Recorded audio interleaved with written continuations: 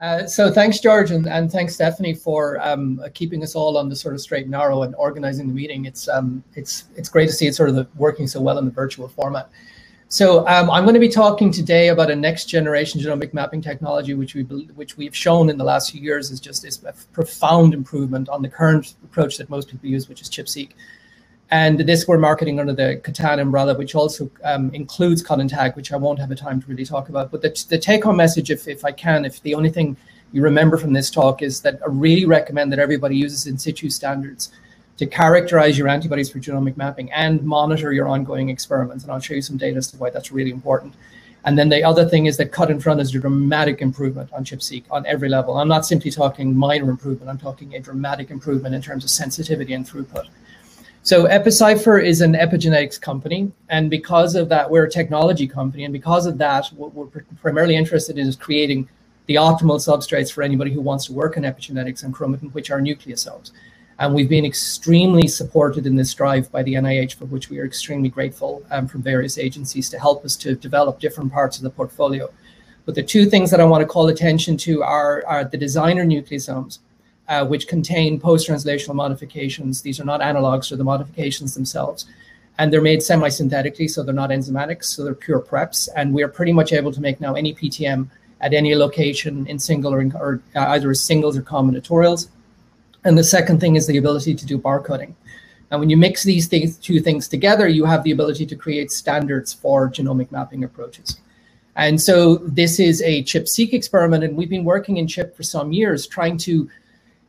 It's a terrible technology. I mean, it, it's it's a big black box until you get the data. At the end, it's prone to signal over noise. But one of the major concerns at the very center of it is the inability to know if your antibody is good or bad. So for this, we decided some years ago that we would assemble with our barcoded nukes panels of related PTMs, and in that way at least characterize reagents and tell if they're any good. And this is one of the panels that we put together early, which we called KMetStat for lysine methyl status, and it's a 16-member panel which contains H3K4, K9, K27, K36, and histone H4, K20, all the PTMs that people were working on in either the mono, di, or trimethylated state. And so we've used this, we've mixed these together and barcoded them and throw them into a chip experiment, and then we say, okay, let's look at the standards recovery. And so for an antibody to pass, it's a pretty simple ask. You have to have less than 20% cross reactivity and greater than 5% recovery of what was added in. And the terrifying thing is that most antibodies cannot do this.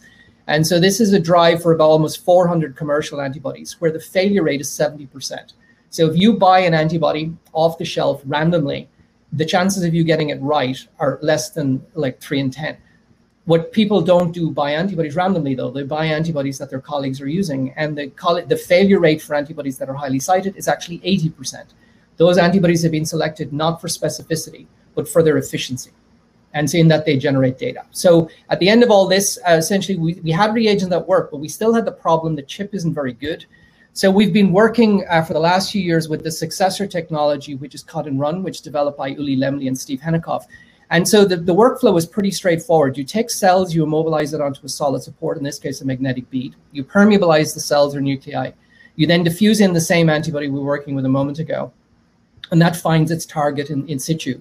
And then you diffuse in protein GMNase, which finds the antibody, and then you activate the MNase. Wherever the antibody was, this nucleosome now drifts out uh, into the supernate, and then it's converted into libraries. And here's the killer step. Everything else is pulled down on the solid support and that takes away the background. And that's what fixes everything. Because if you don't have a huge background, you don't have to continue sequencing everything to try and get your signal above it. So what you end up with is a is a technology to develop superior, hugely superior data sig- or data quality in terms of signal over noise, which therefore means you can reduce your cell needs and your sequencing needs. And so for some years now, we've been supporting the community in terms of developing the reagents, including the MNase, but also developing robust protocols for sample prep and transfer, native or cross-linked cells, nuclei, etc., transfer material made to be. We've demonstrated its suitability for a broad range of targets, not just histone PTMs, but also ATPases, our um, uh, transcription factors or reader domains. And internally for our service drive, we've automated the, the, foot, the automated the format to 96 well plates. We're the first generation robotics are capable of processing four plates a week from cells to libraries which then go onto our own sequencers, which means that we're now performing, performing projects at high throughput where we're going from cells to mapped data in two to four weeks. So how about the data? How does what does it look like? So here's an example of H3K4 trimethyl, a mark of um, active promoters, usually tight, tall peaks, a couple of kilobases wide. The chip, in seek, ChIP-seq from the ENCODE track is around 38 million reads. The internal cut and run track is 3.4 million. So you've got a 10x reduction in, in signal depth, or sorry, in sequencing depth, and yet you're getting improved peaks. Here's K27 trimethyl, a mark of facultative heterochromatin, ChIP-seq ENCODE track around 42 million reads, cut and run track around 3.8 million. So again, same sort of thing. So it's broadly applicable to every PTM target we've gone after, including hardcore heterochromatin like K9 methylation. It's also the other thing that we've done since we've had access to the technology early, we've been able to implement standards within it. And this is the same KMetStat uh, composition that I showed you a moment ago, where we have K4, K9, K27, 36, and H4K20, and in, in the monodi and trimethyl. But in this case, we've changed the footprint such that the nucleosomes are immobilized onto a magnetic bead.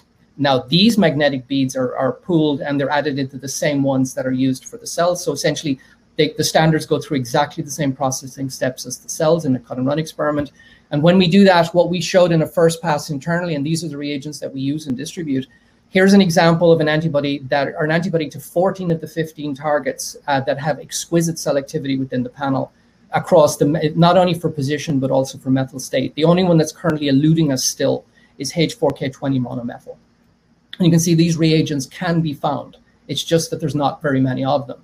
I would also point out that chip capability does not automatically transfer to cut and run.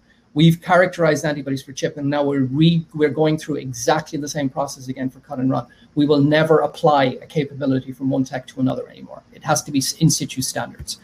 It's not only eight, it's not only uh, PTMs that we're going after. Here, for example, was a bit of a home run experiment, and it was looking at ATPases. ATPases are notoriously difficult to chip because their interaction time with chromatin is extremely short, in the million microseconds. And this therefore requires exotic cross-linking approaches to try and trap and capture them, which an exotic cross-linking leads to ridiculously high background, ridiculously deep sequencing. But on a native approach here, you see we're getting beautiful tracks for BRG1, uh, surround, uh, in this case, uh, adjacent to promoters. Uh, we can then show that these tracks look fantastic. You can see a, a field for peak structure this, and the signal over noise.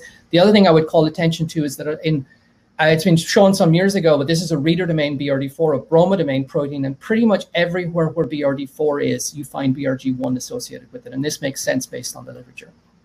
And then the final target uh, class to represent is a remote is sorry um, a transcription factor. This is FOXA1.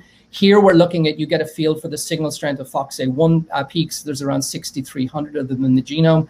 They're not associated exclusively with promoters, as why would they be? They're associated with in, primarily seen in promoters, intergenic and intronic regions, and around 35% of these peaks also contain contain the motif, which is an extremely strong enrichment profile. I would notice, remember, if TFs can get to their location either by direct DNA binding or by association in higher order complexes. You can get a feel here for the um, peak structure as well.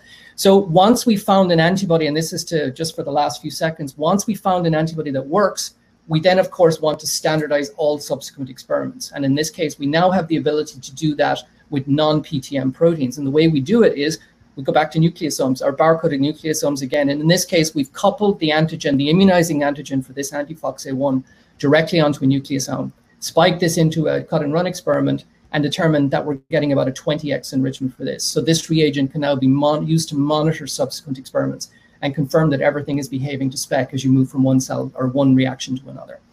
And so if they're interested to learn more, you can visit our virtual booth. Like I said, I did not get an opportunity, for example, to talk about cut and tag, uh, parallel technology, which has very different capabilities.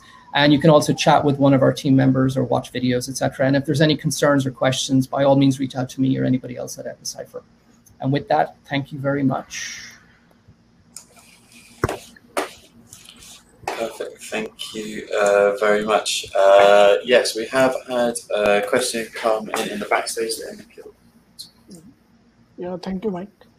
Yeah, so the question, how are you supporting the field to do cut and run? Say that again, sorry, Nicole. Uh, how are you supporting the field to do uh, pretty much everybody from the homebrew guys to the ones who want a full service so we developed the um, we, we sell the protein AG-MNase the enzyme that sits at the core of the technology We've also mm-hmm. developed robust protocols, which we release everything we do, we release, and that's for every target and things like fixation, etc. We've also done kits for people who want that, which includes some of the nucleosome standards.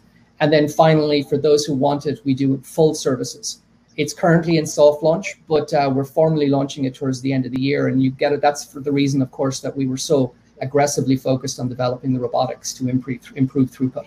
Because a standard chip exper- or cut and run experiment now, Forest in a service project, can be hundreds or thousands of samples.